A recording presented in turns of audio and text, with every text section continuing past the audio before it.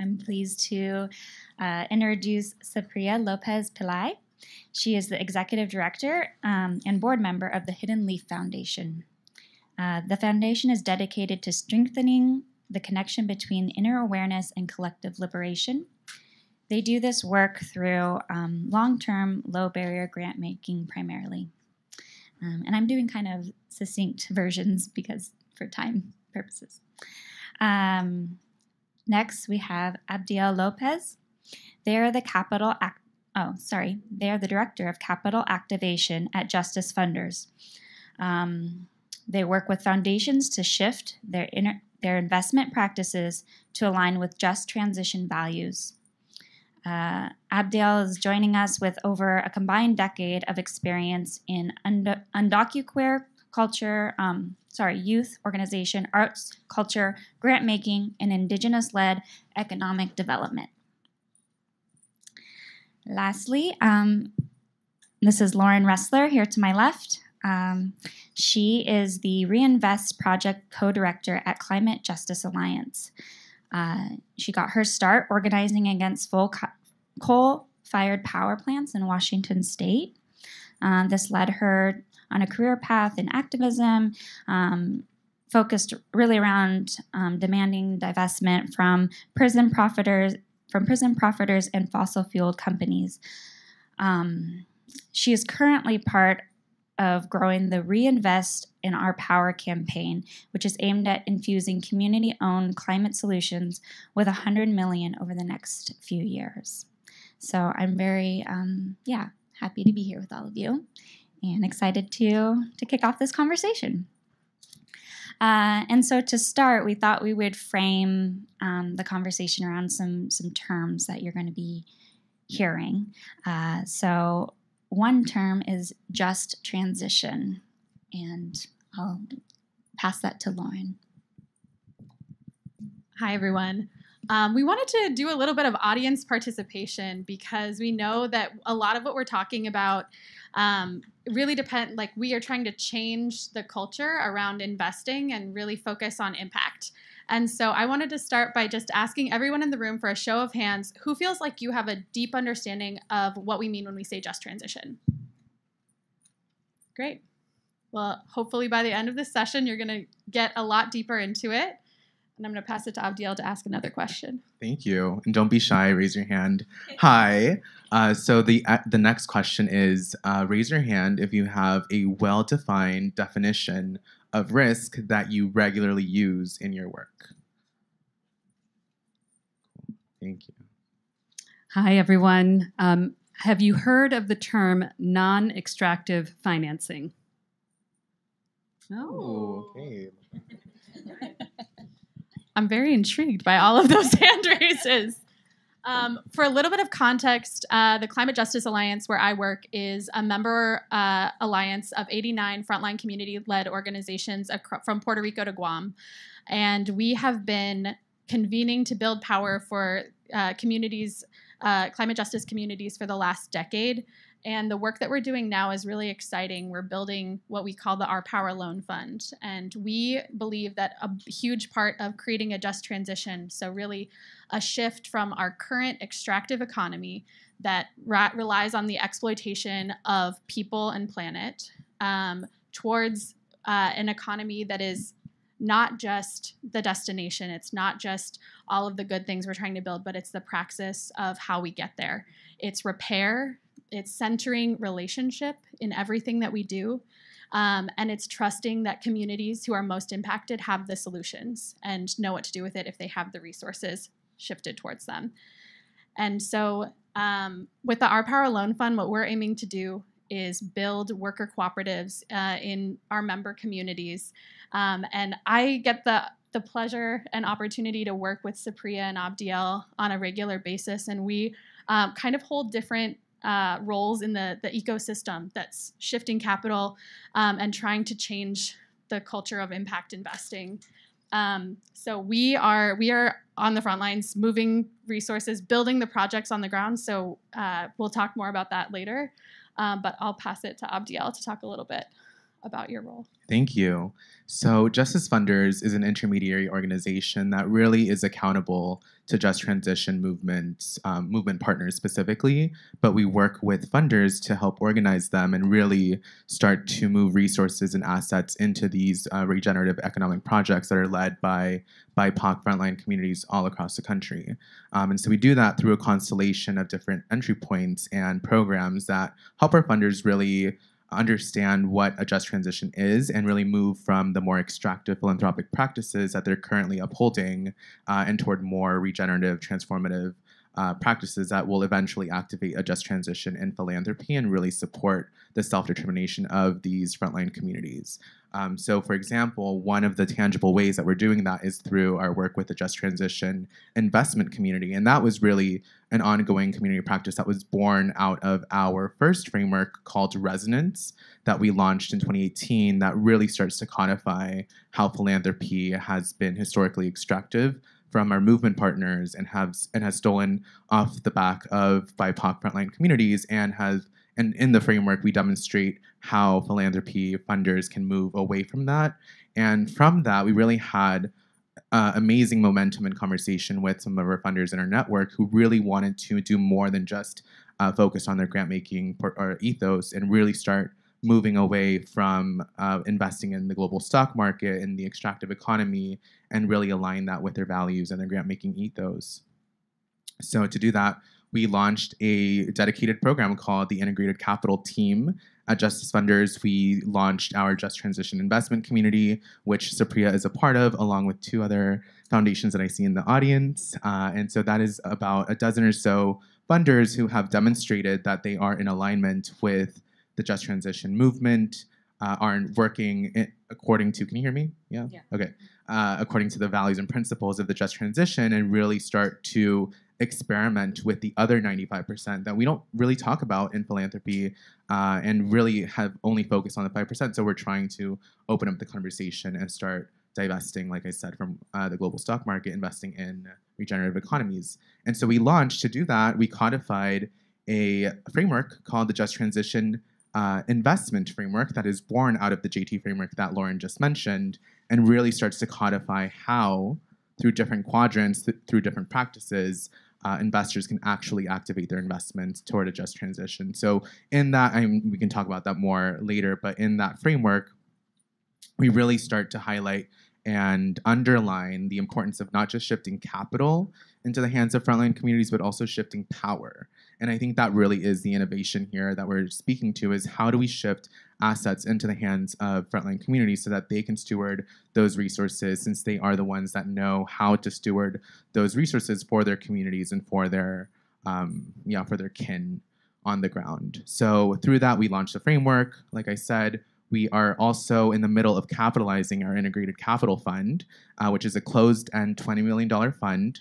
Uh, we're inviting investors in the JTIC in the community to invest and really start supporting this idea of shifting toward a more regenerative economy. And it is a 100% community controlled loan fund. So people like Lauren uh, and other movement partners are the ones making decisions as to how much capital is deployed to whom and when. Uh, again, this idea of uh, communities uh, stewarding the resources instead of the investors. And we're flipping the script here. What we're asking for our investors is to start to challenge the idea of power and really give up power so that those, again, on the front line, and I can't say this enough, start stewarding those resources. Um, so we're in the middle of capitalizing that. Uh, and then we are launching or deploying capital in 2024, and we can talk more about that. But again, flipping the script, rewriting the rules. I mean, philanthropy has created the rules, and we can rewrite them. And it's about experimenting. It's about challenging the status quo and being curious and leaning into curiosity uh, and being unafraid as long as you are in right relationship with uh, movement partners and with the values and principles of a just transition. So I'll stop there, but that's just a slice of what we do, and I'll hand it to Supriya to talk more.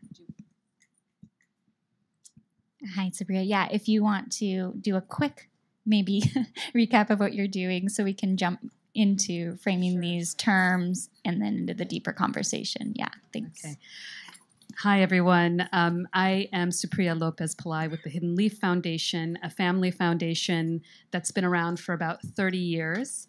And um, Alana, when you introduced, um, you shared about our low barrier grant making, which is one of the most, um, the longest way in which the foundation has strived to meet its mission, which is about building and cultivating inner awareness at the individual and the collective level to make the progressive and social justice movements more effective. So the belief is how are we showing up in the spaces and in our movement work, um, being aware of that, because if we don't, um, we often short curtail ourselves and we aren't able to make the victories and achieve the goals that we have set forward for ourselves.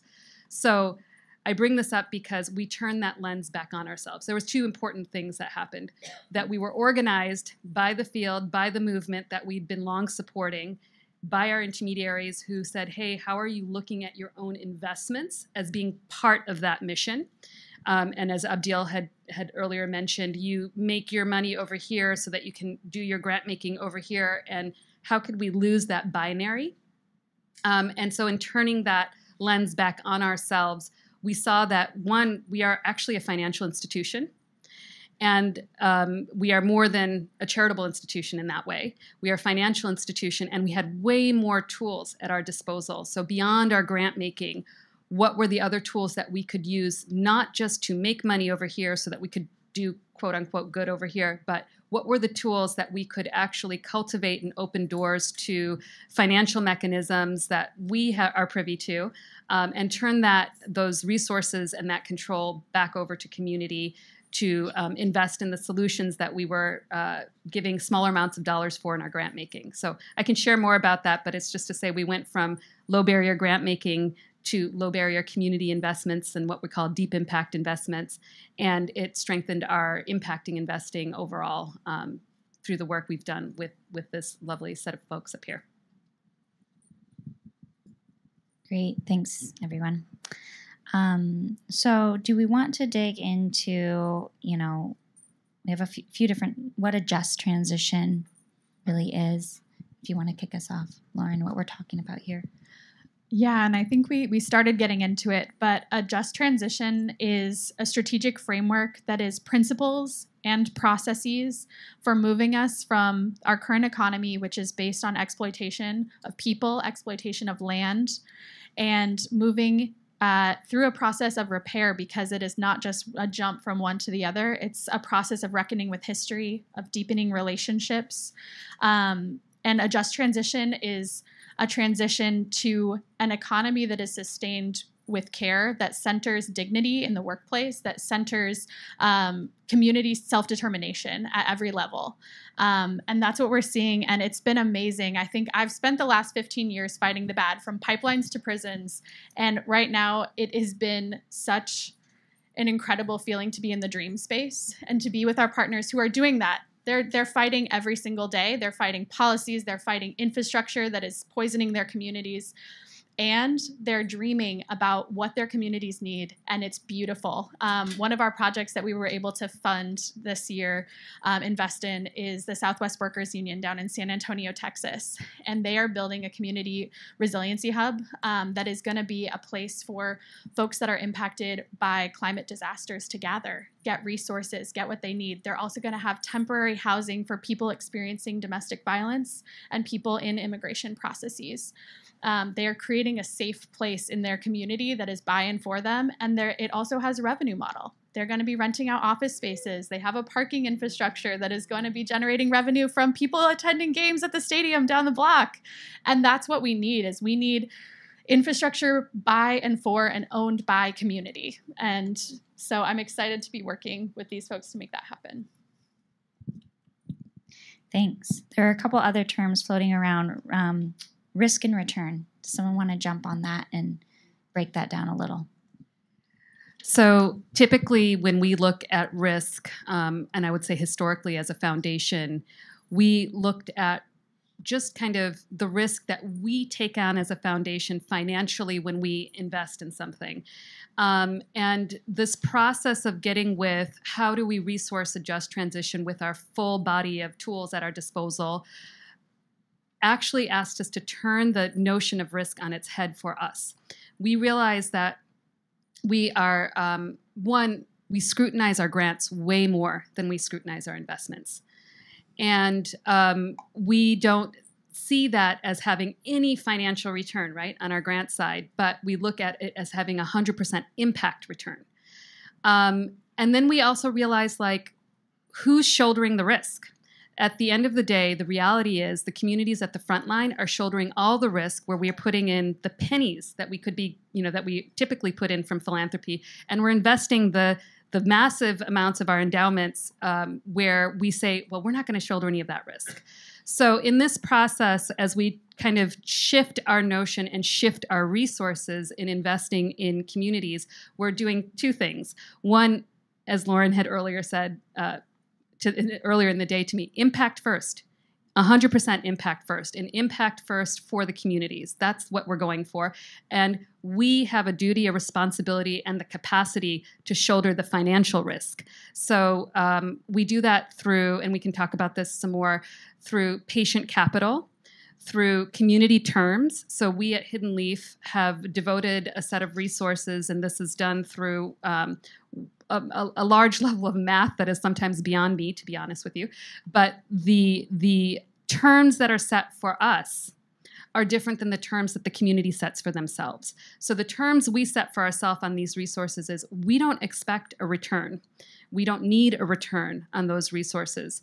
Um, and then we work with an intermediary partner who's been really fabulous, Full Spectrum Advisors, who set community terms, which Lauren can share more about how community set terms. Why? Why not give them another grant? Why not just call it a grant and and and give these larger sums of money? So we went from like a thirty thousand dollar grant to coupling that for CJA, we went to I think seventy-five or eighty thousand dollar grant to a five hundred thousand dollar investment. Um, I think we were first in on their community loan fund, um, and we see that the returns are going back into the community.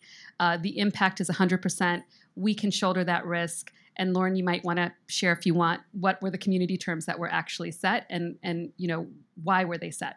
But that's a little bit about risk and return. Yeah, I can share briefly. Um, so I wanted to to really talk about the importance of co-creation at every stage in the process. We co create with our funding partners um, who are investing in the fund. We co create. Um, our governing body is made up of other Climate Justice Alliance members who have their own worker cooperatives, who have their own loan funds in their community, and have the expertise. And the most important thing for us is we don't want any of our community members to fail. And we will do whatever it takes to support them with capacity building, to support them with technical assistance, and then to move the resources needed to capitalize these projects. Um, and they are they are our community, and we are um, some of the terms that we've set are we have uh, ten year terms for the loans that we are giving out. Um, we have 0% interest currently on our, our first uh, deployments. We are uh, we want to take the burden of reporting off. And so instead, we're in conversation. We're already doing this. We have a, a technical assistance as part of what we do within the Our Power Loan Fund. We have project stewards who are in communication with all of our projects on a monthly or quarterly basis, making sure that um, they have if they need help finding an accountant that can work on like what what their specific needs are, they're going to get it. Um, if they need help uh, talking through like profit sharing structures and things like that among their membership and they want support with that we can support with that. Um, so that's a little bit about the terms and we've, we've got a lot more and we're also happy to make those terms available to any folks that actually would like to look at the, the documents themselves and see what we're doing. Um, we're, we're all about transparency Similarly, at Justice Funders, with our integrated capital fund, we just released our investment policy statement that really outlines some of the values and principles that go be, um, behind the re- redefinition of risk and return.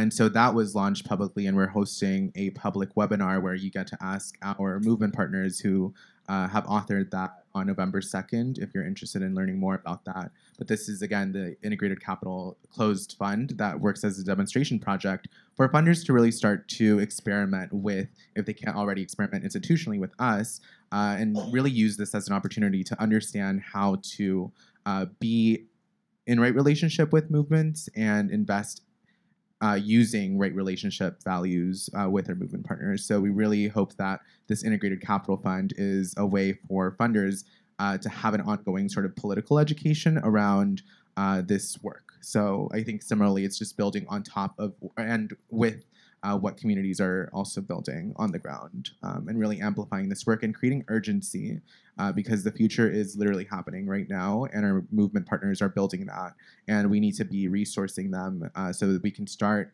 looking at seven generations down the line and really starting to put them the people uh, the future generation as part of the people that we think uh, will be impacted by our work um, with our investments too.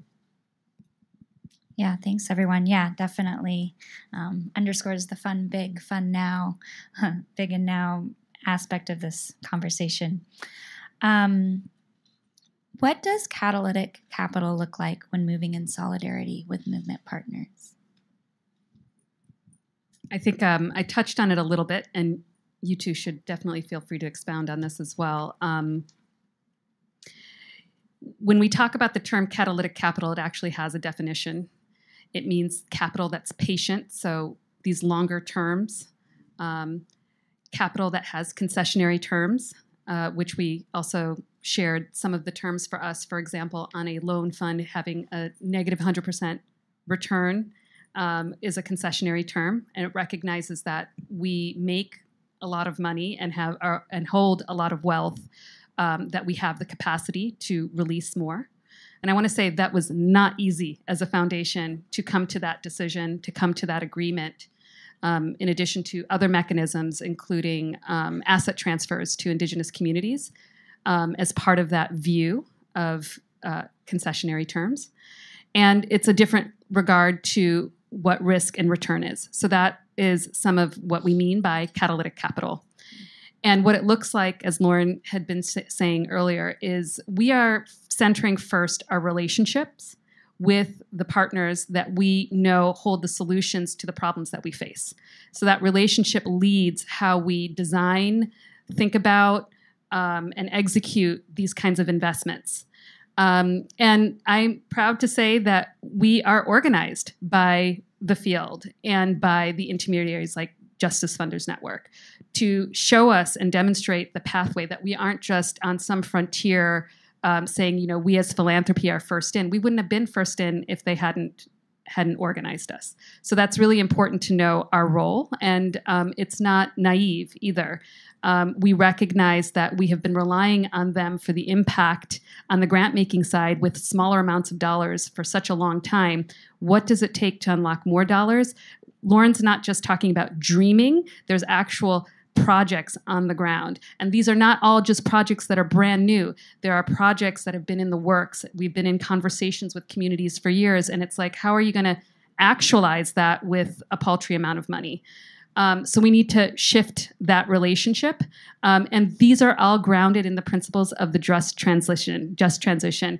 We talk about ourselves as a foundation that centers love, that centers spirit, and we see resource as um, resources like money, like water, they need to flow. They, they cannot be dammed, and we cannot control or demarcate them.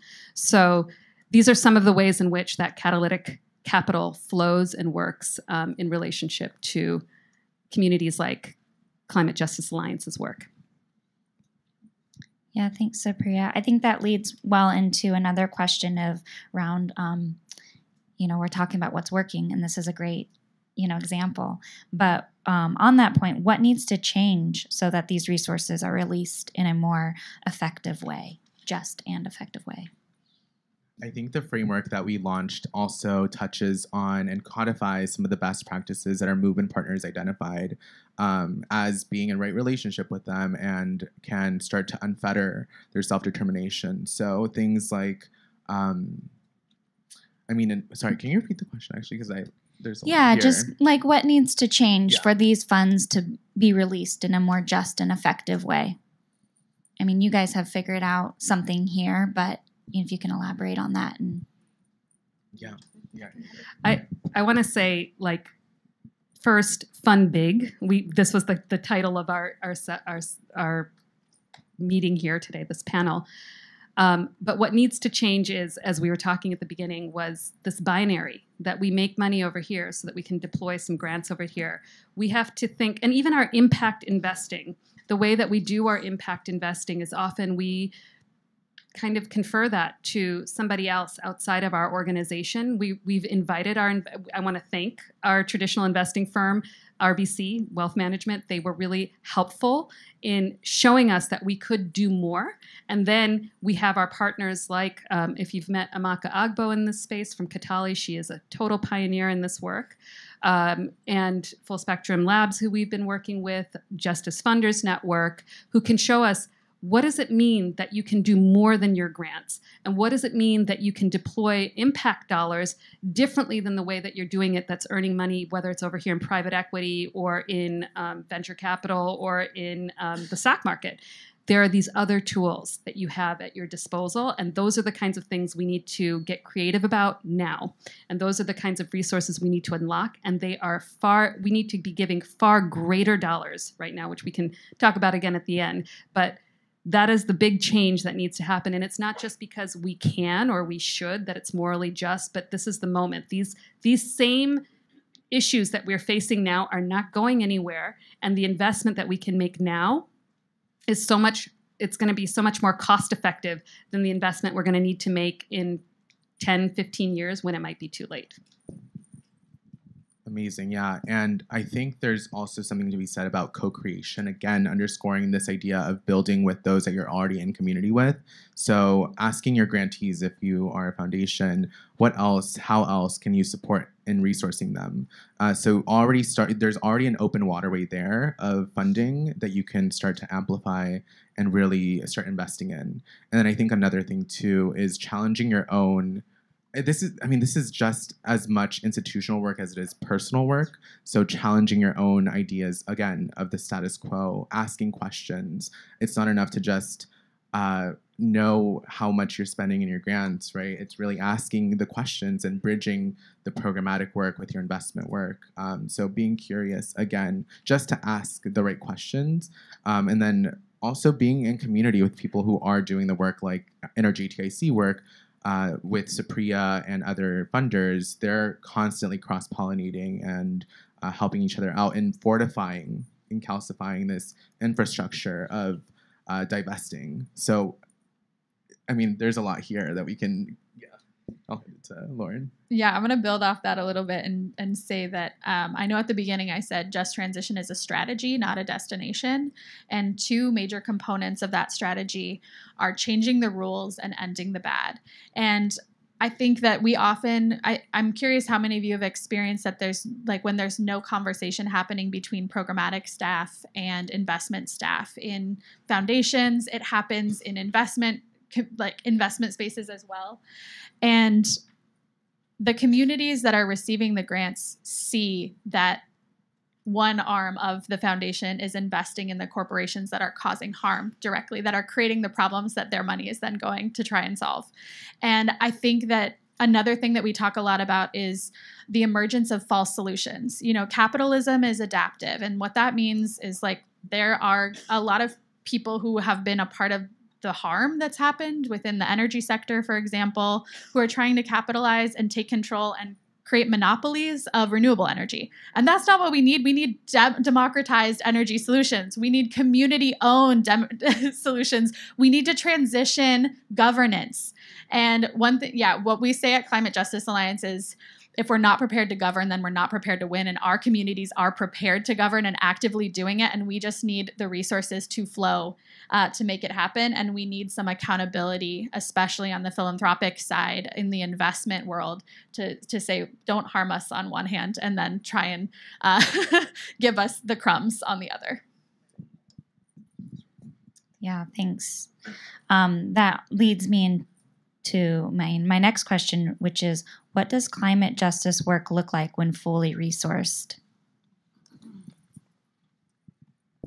Well, I already talked to you about the Southwest Workers Union and what they're building is beautiful. Um, we also made our first deployment to the Detroit Black Food Security Network in Detroit. Um, Detroit is a majority black city. Uh, there hasn't been a black owned grocery store since 2014 in the city. And what they're doing right now, they the it's it's almost done. Construction is almost completed on a community cooperative grocery store that's going to source from Black farmers in the community. It's going to have intergenerational food education. It's going to be an organizing space where people will gather, um, share their their visions of the city like build power and it has taken them over a decade to capitalize this project why has it taken a decade to get the resources to build a community cooperative grocery store that is all, so much more. It's going to be an epicenter for so much transformation, um, and we're so happy that like we're providing some of the final funding needed to get uh, really get produce on the shelf. Um, honestly, uh, but that's the kind of thing that becomes possible, and I, I think that that's what I would also encourage folks in the audience to to really sit with is um, go and see the things that you're funding get to meet the people on the ground, get to hear about what the impact is going to be and the visions and what people have been building towards for decades in so many places. Um, because you you feel it immediately and the, the impact is deep. I think one last point that I want to make is a question that we get a lot is but how is investing in climate justice uh, a scalable solution to the climate crisis? How many people have heard that before? And what we say is distributed scale. Like we are all about distributed scale. Get it to community community food systems. Like we are gonna we don't need monocultures. We know that monocultures kill um, ecosystems. Uh, what we need is a million community owned solutions all across the country, all across the world. We need land back. We need to be transferring ownership and giving it to the stewardship of people that have been stewarding it for hundreds, if not thousands of years.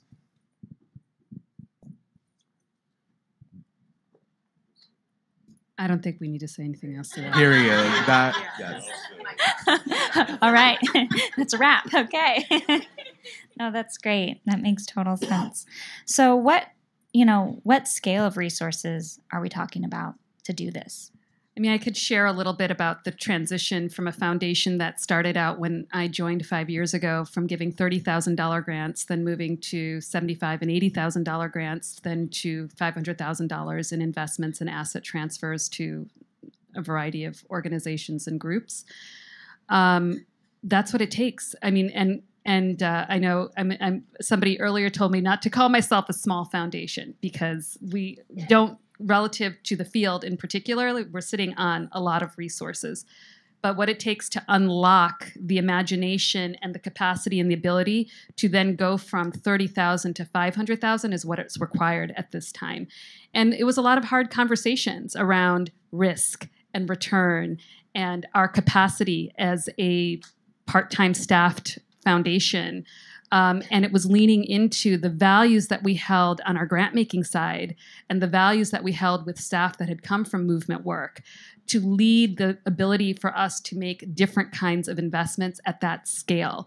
Um, groups have been not just talking about, but imagining. I love what, what you said, Lauren, that we are prepared to govern. One of the other groups that we work with, um, Luis Sanchez from Power California, says we are practicing the world we seek. So we are ready we are ready when no one else wants this. No one else wants to invest in our communities. When when it when it all falls apart, we are ready to govern. We are ready to govern when all of those resources are coming to us as well. We have plans. We have various things we've been investing in ourselves as a community. So it takes leaning into those relationships and it takes also you know, honestly, we had to also have a lot of convincing with our investment advisors that we could do this. But we were really lucky that we had a set of investment advisors that were already movement aligned, that were already in the same shared values at some to some extent, and communication across these binary of, of the foundation um, of the investments over here and the grants over here. So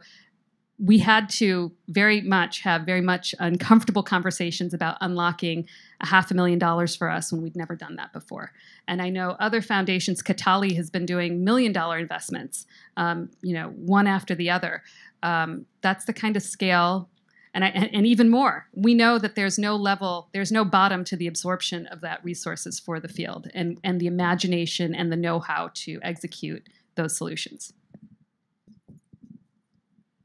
Um, I want to say that we are exploring this on so many fronts. And so, how many of you have been following the Inflation Reduction Act money that's been coming out? Yep. So, there is a pot of $27 billion that is going into the Greenhouse Gas Emissions Reduction Fund. And when it was announced, we heard at Climate Justice Alliance from a lot of folks that there were were coalitions of people who from the traditional finance sector who were ready to just immediately take all of that money. They were like, they were consulting with us to say, like, will you support our applications?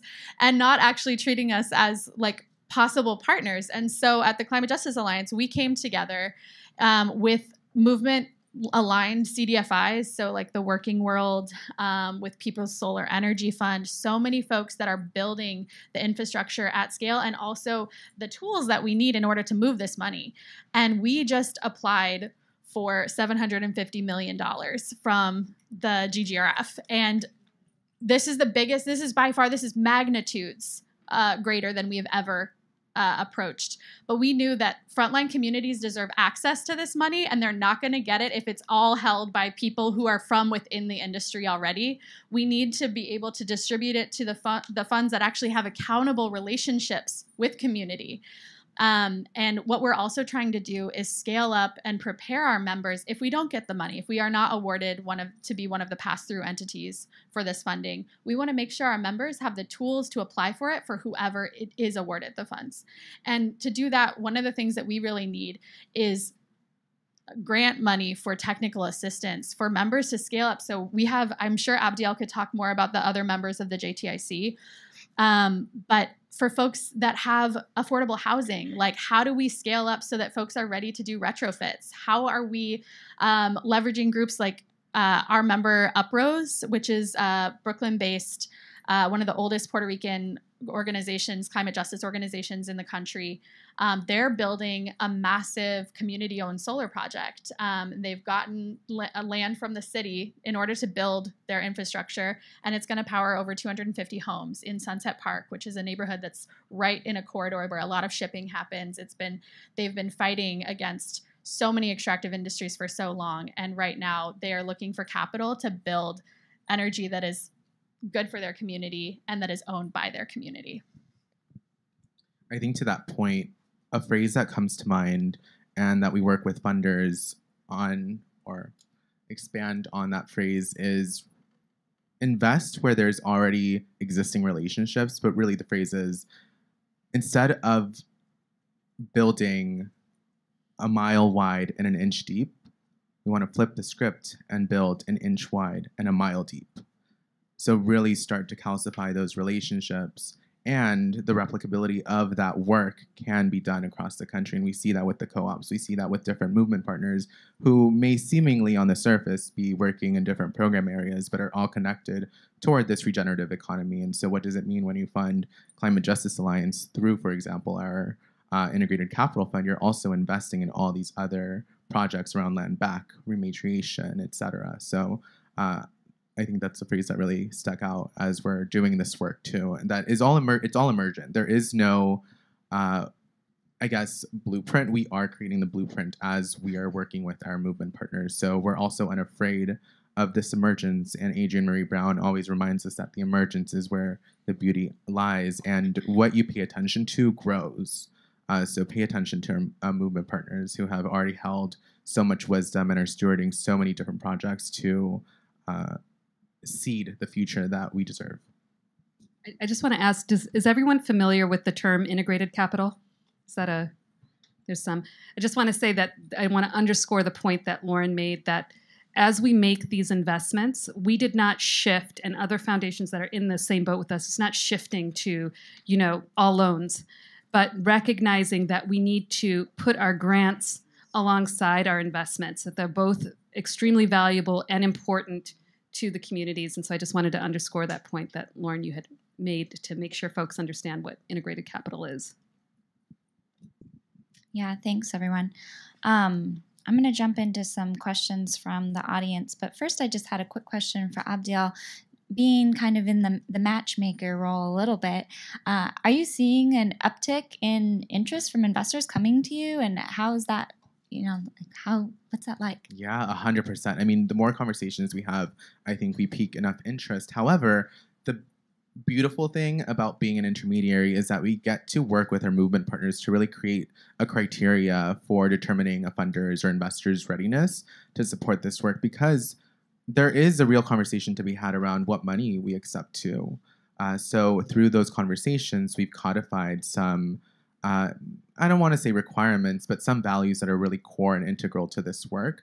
That if we do want to activate a just transition, again, I think uh, you just said it best. We are practicing the world that we want to live in, and so in that, we're doing that at every in every step of the way, from uh, who whose money we accept to our IPS to the way we deploy capital, et cetera. So there's interest, and I think there's still a lot of work to be done, which is why Justice Funders is in a very unique position because we work with funders who may be on the more extractive end and really start working slowly with them to go toward more transformative uh, practices through consulting, through programmatic public workshops, etc. Great, thanks. Um, I'm glad to hear that there's interest and growing interest. Um, so, a question here from the audience is how do we account for the transformation of our communities as a result of interregional slash rural urban migration? And kind of the second statement is there with acknowledgement of privilege that comes with mobility.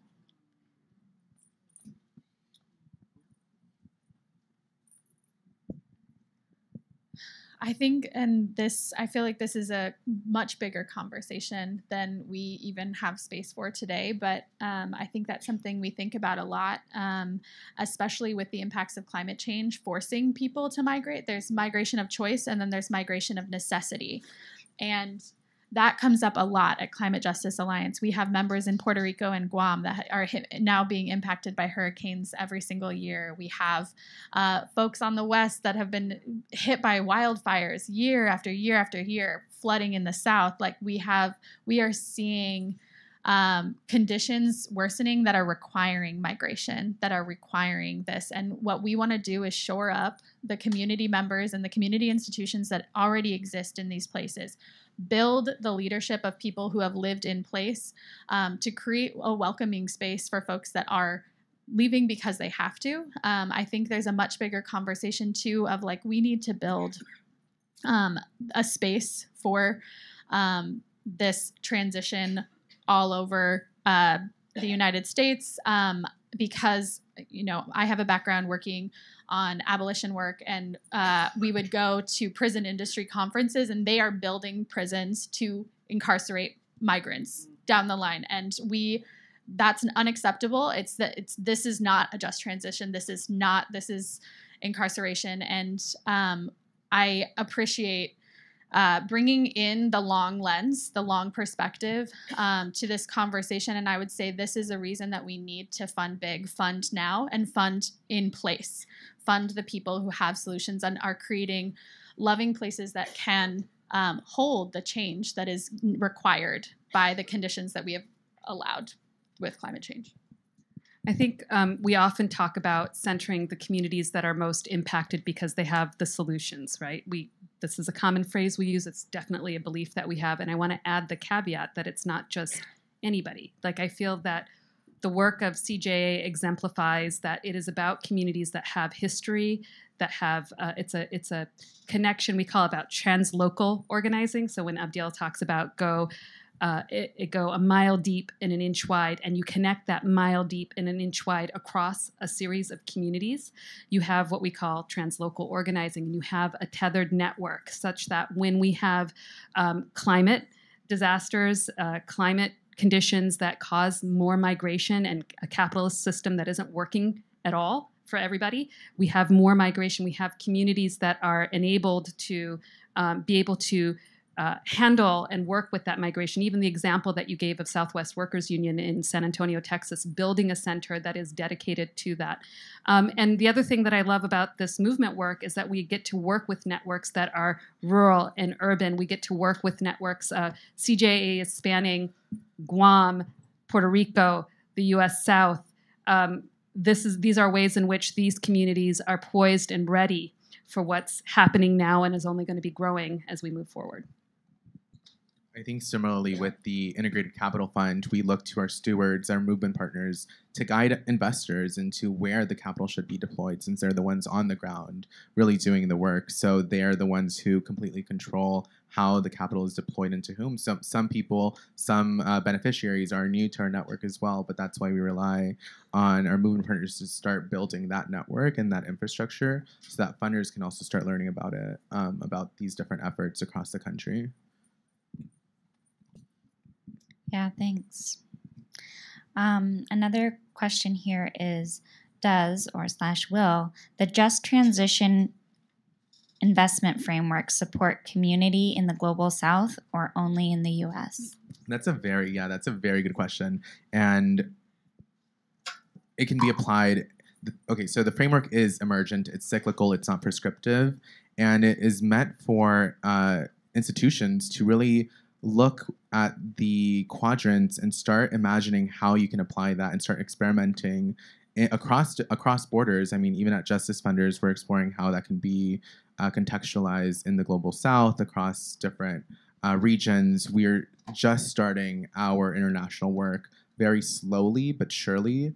Uh, we are hoping to expand this framework, but really it was informed by our movement partners who have experience across the world. So it's not just pertaining to uh, the US, but really has codified the values and practices that can be implemented really anywhere. I think it's important to name that the just transition concept was born out of solidarity with the global south, that there are funds like Buen Vivir coming from um, so, from the global south that have informed um, how we even came across this term. I'm even thinking of Jose Bravo, who uh, has the Just Transition Network, who does work across the border and into the global south. So, specifically, the framework that Justice Funders uses is, is experimenting first in the US. Um, but the concept of just transition is deeply informed by movement work and alliances in the global south, which is also connected to a variety of economic sovereignty efforts. And I just want to say that um, Climate Justice Alliance is based in the United States, and I think um, one of our core values is combating imperialism and recognizing that the U.S. government is a main driver of destabilization and continued colonization in most of the global south, and that being in solidarity means doing the work here um, to redistribute, like reduce, stop funding war, uh, start funding communities, um, hold accountability for the history and legacy of violence that uh, and destabilization of governments in the global south that has happened. Um, and we do that in uh, we we gather at the COP negotiations. We gather through our members at Via Campesina. We we gather um, with our partners at Grassroots Global Justice, and we hold space and share what we're learning on the ground from our different places and build um, international solidarity that way. Great. Did we have any more audience questions? I wanted to pause and make sure we have time for that. Okay. Um, I'm curious to hear about how um, how investors find. You know, we talk about movement partners, and how do you how does that come together and you know, they're because I'm guessing these movement partners can be quite small and localized, and so like, how did they get on the radar? I feel like one way is places like this. So you're you're meeting us here. Um, I want to just like shout out some of the other movement-owned uh, community investment vehicles that exist because they're they're popping up all over the place and they're doing incredible work. Um, I don't know how many folks here have heard of the Kheprw Institute in Indianapolis, but they are doing in- incredible work um, incubating businesses, primarily Black owned businesses in Indianapolis. Um, and they have a really incredible model of a, a flipped investment structure. So, uh, local residents uh, making $30,000 a year or less um, can invest and are guaranteed a 7% return on their investment. And institutional investors um, are holding that by receiving a low interest uh, repayment for their fund. But that's the kind of thing that we're looking. They're trying to build community wealth. They're trying to build generational wealth, and they see it at every level. They want community members to be investors too, and I think that's a beautiful model. Um, we've got some amazing folks in the room. Um, we've got folks from EFOD here that are building uh, the infrastructure for agroecology projects, food justice across the country. Uh, we've got folks from Native Women Lead who are here investing in women owned Indigenous businesses um, and building a culture of entrepreneurship among Indigenous women.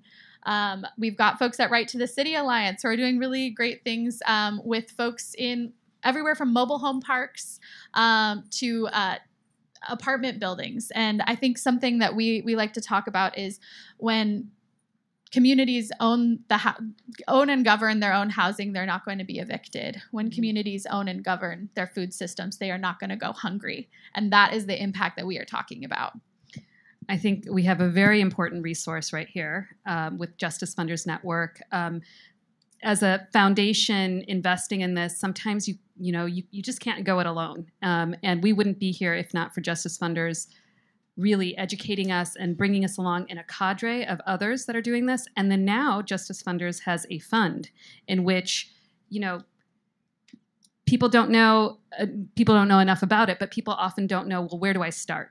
So I don't know, Abdiel, if you want to talk a little bit more about the fund and how it could be a good place to consider moving some resources. Yes, that is the Integrated Capital Fund that I've talked a little bit about already. That is 100% community controlled. Uh, again, closed and fun for the purpose of demonstrating to the field that this can be done and it can be done now. And so, really, again, can't reiterate enough. Uh, learning, actually, this is a good uh, plug for us. Uh, November 2nd webinar on the IPS for this uh, fund we will be hosting online. Uh, so check that out, justicefunders.org, where you can learn more about the different vehicles that we are supporting and that you can support, learn about the terms, again, that the movement partners have set for their investors. And I just want to add that it's not just a fund where if you want, you can just go kind of put your resources in there, but it's actually an opportunity to learn, which I don't know. Uh, on the other side of the table, in many of the funds that we would invest in through kind of more traditional investing, I couldn't always access the way to learn how that investing happened. Um, Justice Funders is a community, and the fund itself creates community amongst philanthropic partners to learn and activate how else they can move capital. So I just wanted to share that as well. It's been an important space for us. Yeah, thanks. I'm also curious to hear a little bit, Supriya, maybe you can elaborate more. Um, you know, as the foundation, you mentioned you had, had had to have some real tough conversations to, you know, you did a big shift, it sounds like, as a foundation. Um, what were some of the considerations and how did you kind of eventually get to the decision you got to? I think one thing that's really important to name is our own personal storytelling. So the foundation had a story of how um, the family had accumulated wealth in one generation, and um, uh, Dave Brown, who was the founder of the Hidden Leaf Foundation, was a Buddhist, and in his lifetime, he saw that this was the best way to give away that wealth through his Buddhist principles.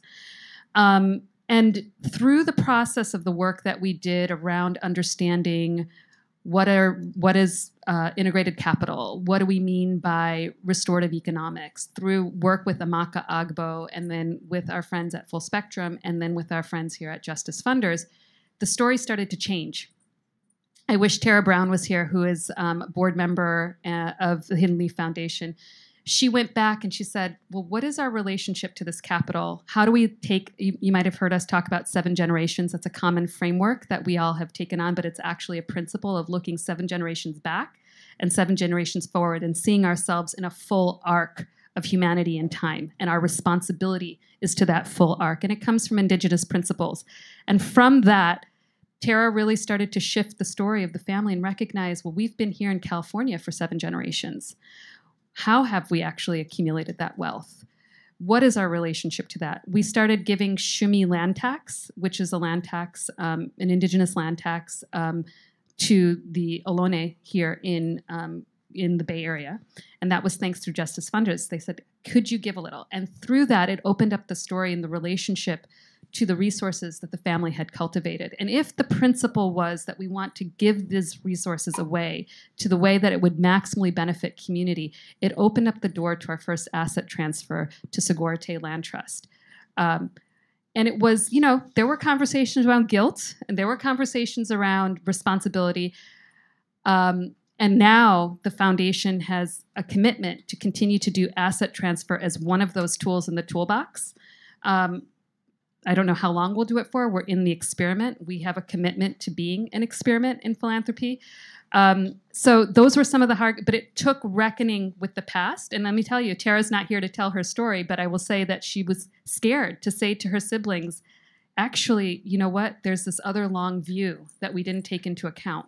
And I want to be the leader in this family to, to start to repair that. And we recognize that these resources are but a drop in the bucket. I want to mention also part of the story was that the families, Dave Brown's wealth came from commercial real estate. So there was a sort of full circle conversation about real estate and who's real estate and what does land back mean. And um, that was also coupled with oh my gosh, we ha- are a foundation dedicated to inner awareness practices, and we recognize that part of organizing requires, we, we fund community organizing, requires you know supporting indigenous practices which we which which we haven't done. So coupled with that we expanded um, the the grant making and the integrated capital approach to to indigenous communities as well. So there's something here about connecting the dots between our personal stories to wealth wealth accumulation and um, the ability to um, unlock some of the imagination and the kinds of resources that we need to, to give um, they're all kind of tied together. They're not a binary. They're not separate. The story of self and the story of money is is quite connected. Yeah, thanks. Money is a very emotional thing.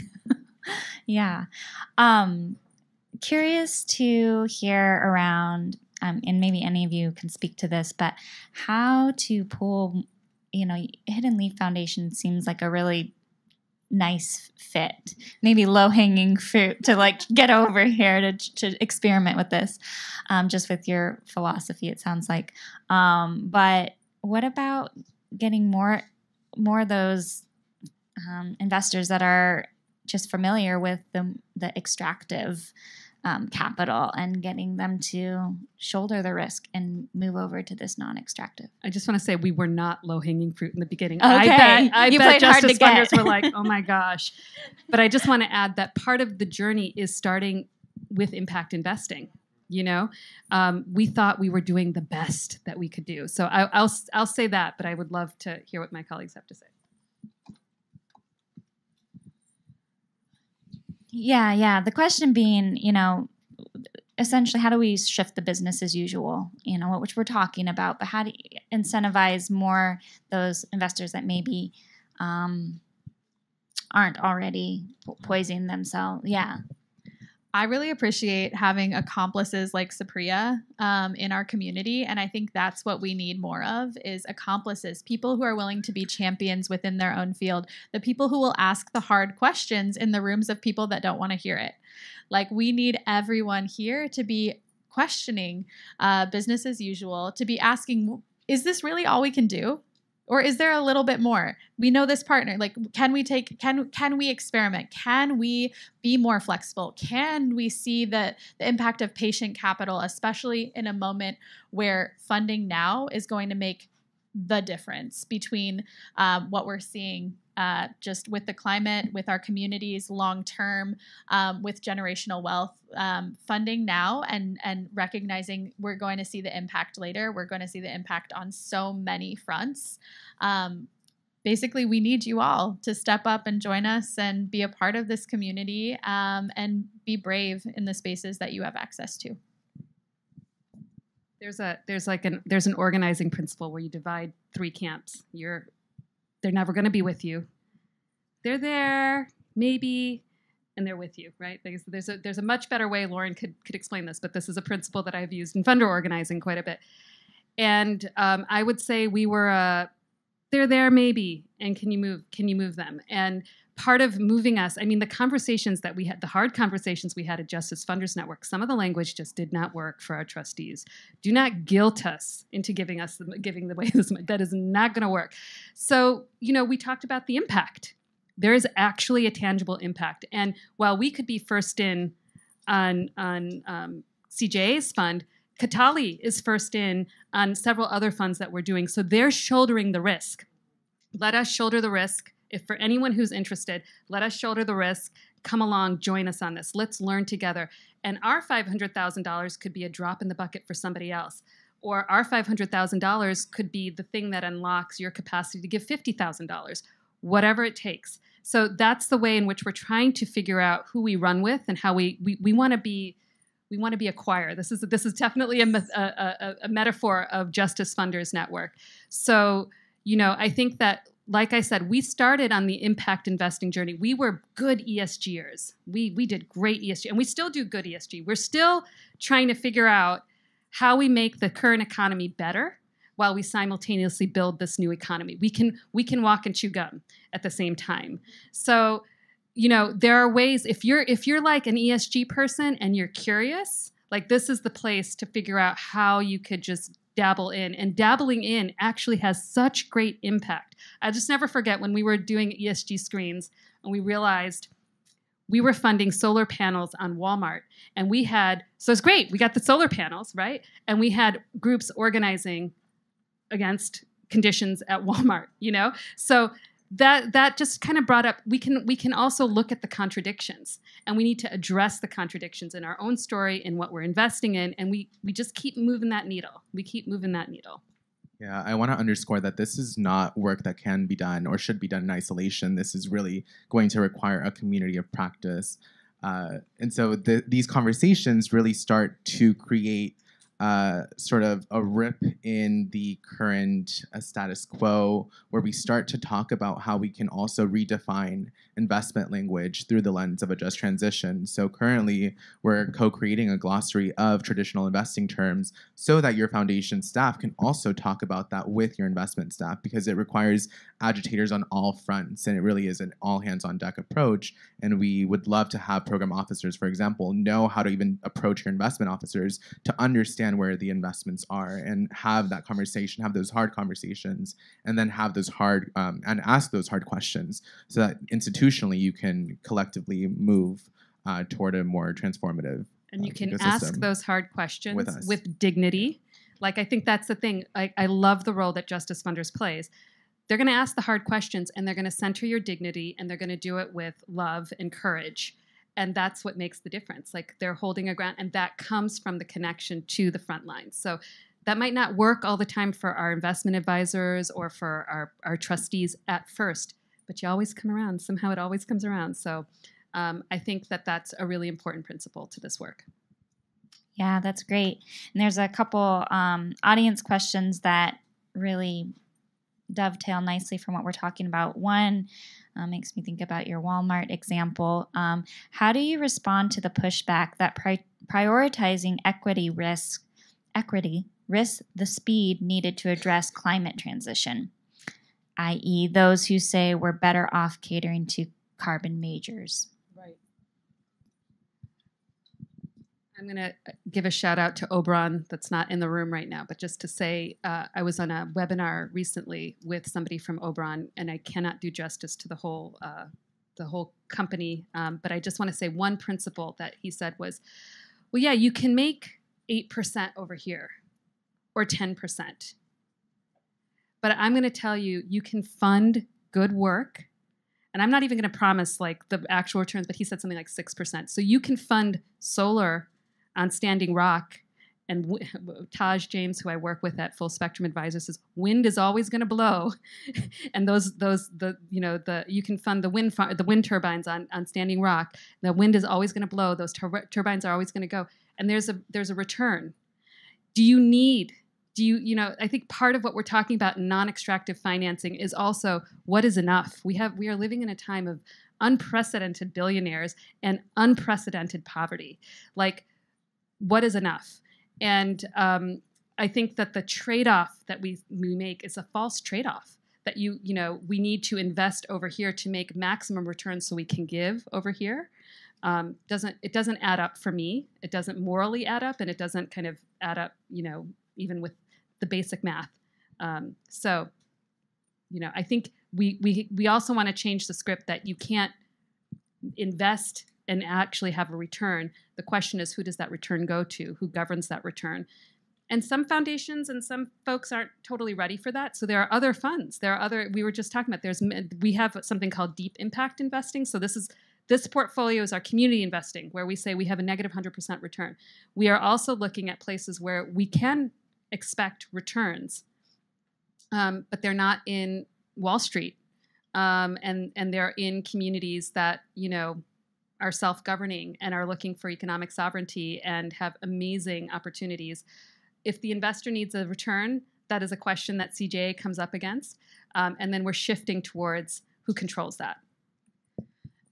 And within our fund, for example, to um, like these these are these are loans that we're dealing with. We want community self determination. We want uh, we want them to be uh, able to pay their workers. We want we want the businesses to be successful, but we want the revenue generated and the profit sharing that will happen eventually to return to the fund, so that more people can get access to this capital.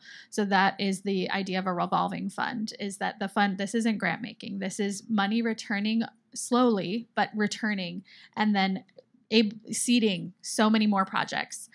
I also just want to want to sit with the the idea i feel like a lot of this question also connected to the point that we made earlier about scale and like do you trust exxon to create the energy solutions for the future with the track record that they have or do you trust community? I think a lot of this is about combating the isolation that has been developing in our society too, and really like building relationships and recognizing like the only way through is with the people around us. And we, uh, investing can be a place of relationship. Okay, thanks. Another really great question um, is are you measuring impact, and if so, how? Would having would having impact metrics help foundations make the switch that Supriya spoke of? You can we all were hundred percent expecting this question. I, I first want to just start with in philanthropy, we've always been measuring impact, and it's been both a wonderful thing and actually part of the problem. So what do you mean by impact? You know and i think that's the question i, I don't know who posed this but like uh, we as a foundation want to measure the conditions of satisfaction that the community has set for itself. That's the that's the the litmus for us. Um, i don't want to get into metrics and data that then goes back to what I was saying before about the level of scrutiny that we put on our grants um, previously. But I do want to say it is a real live question for us as to what we mean by impact, and we hope we can be in a co-creation because we've just started this journey with with partners like CJA. So we want to be in a co-creation process with them around what impact means and let them lead us to to to the answers around that yeah just underscoring that with this integrated capital fund that's exactly what we're doing is asking our movement partners to really set those uh, and rede- redefine those definitions so that investors can continue to learn about what impact could look like in their backyards in different places beyond this integrated capital fund. Uh, so again just underscoring that through this work and I think something that we think about a lot is that the impact investment space has had decades to come up with successful metrics that actually produce change and has largely failed. Has largely, there's not consistent metrics, there's not consistent accountability. We talk about ESG and the lack of of real like deep investigation into what does that even mean what counts and what doesn't and i think we as community members are, are stepping in and saying the metrics matter for us because it's our lives. It's uh, the amount of food grown. It's the amount of housing that our members are able to to live in. It's it's the number of people who have a safe place to go if they're experiencing violence. It's the number of people who receive um, heat pumps water treatment when there's a disaster. Um, and we know that the, the the investment space has largely and i think it's because of this relational element there's no accountability because a lot of the folks who are making the decisions are not being impacted and not dealing with the consequences um, that so many of our members are. So metrics matter but we see metrics as coming through the form of storytelling and like true lived experiences of what is it like what what is it like in in the affordable housing we're building? Is it a comfortable space? Do you feel like you can have people like is it a place you want to live? Um, people don't ask that question but it matters. Is the food that you're growing food that your community wants to eat or are you growing it for somebody else? And I think that is the kind of conversation that I would love the this broader community to be uh, in conversation with uh, us about because that those are the metrics that matter.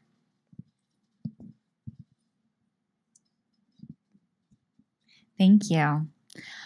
Um, I, I feel that we're kind of tiptoeing toward the end, and this is a really great question, um, which is what is what is your dream for what the just transition looks like in three years? Maybe you can all speak to that because you all are filling a different, you know, role in this work.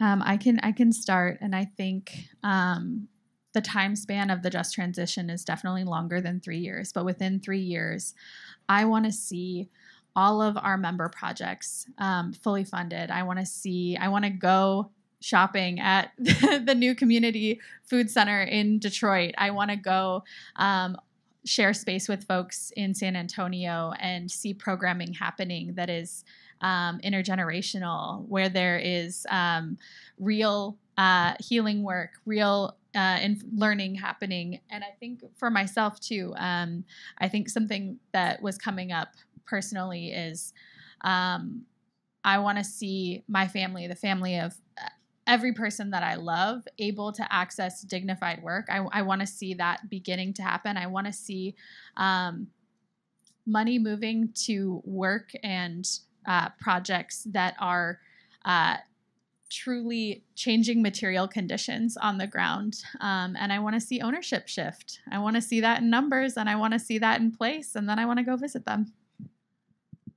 In three years, I want to see more foundations asking themselves how they can relinquish control of their assets and really hand it down to more movement partners beyond the ones that we're working with um, and including them as well obviously. But really what we're trying to do here is eventually work our ways or work our way out of a job so that communities can be self-determining. So what does that look like? I mean we have our 100 year vision for that in resonance framework uh, but in three years, that hopefully will have all the capital for the integrated capital or the integrated capital fund deployed to our movement partners. We'll have more of those funders investing directly into uh, movement partners like Climate Justice Alliance, like Native Women Lead, um, et cetera, like, like, EPREC as well. Um, so that's what I hope in three years, in 2026. That's like tomorrow. Uh, so hopefully that we can see more Supriyas in the world, uh, agitating also the field and other investors, and really bringing in investment advisors, wealth management offices into the fold as well. It's not just enough to have foundations; it's a great starting point. It's an amazing place to really have uh, champions and advocates of this work. And we also need to start uh, broadening the scope of those we uh, work in tandem with. I think what you're hearing that's common here amongst the three of us, because we are cut from the same thing in a way, is that it's easier in some ways to tell you what we dream of in 100 years.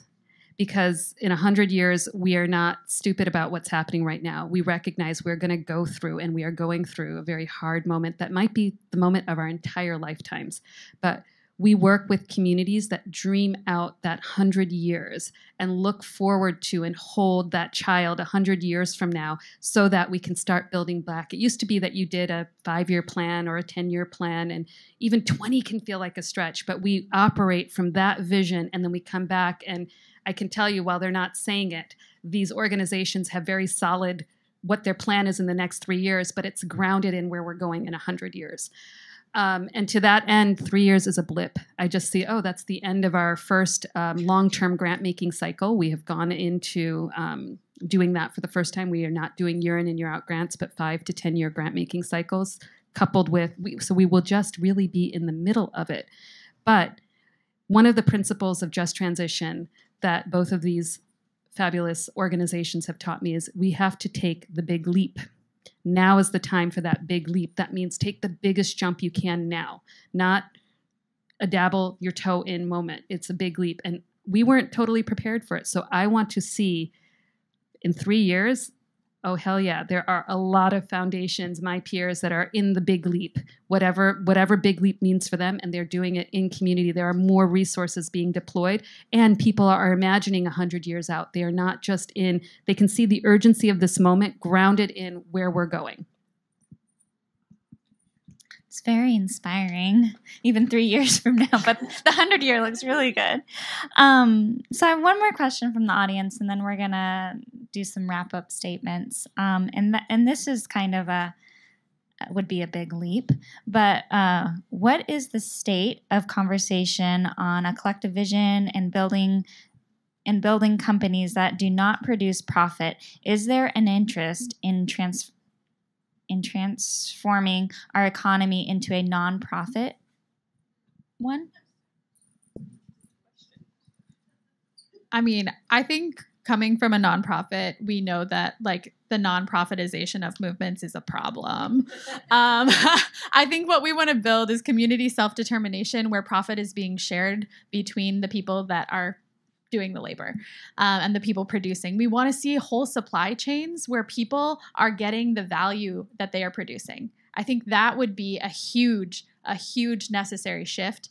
And I don't think that we need to be focusing on turning things into nonprofits. I think that um, profit sharing and recognizing that um, there are so many thousands of people involved in a single product in a single um, space and and making sure that that the communities that are um, a part of those businesses are reaping the benefits instead of profit leaving the community going into someone else's pocket who's building you know a climate bunker in canada. You know um, somebody said the other day on this conversation that i was in that it's not just about this paternalistic um, opening the door and giving the keys to somebody, but or, or uh, sharing the tool, but that you see that communities are building their own tools, and that those tools are not um, those tools are scalable, shareable. That's that's what we're talking about. Great. Well, in these last few like few moments here, can you each just maybe share a sentence of a to summarize in your closing thought, and then we'll we'll call it a wrap will just repeat myself and say take the big leap and fund big and fund early. Experiment.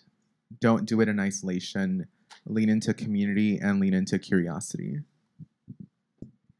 And be accomplices to movement. And um, if you're interested in, in talking about what that looks like, come talk to us after this panel.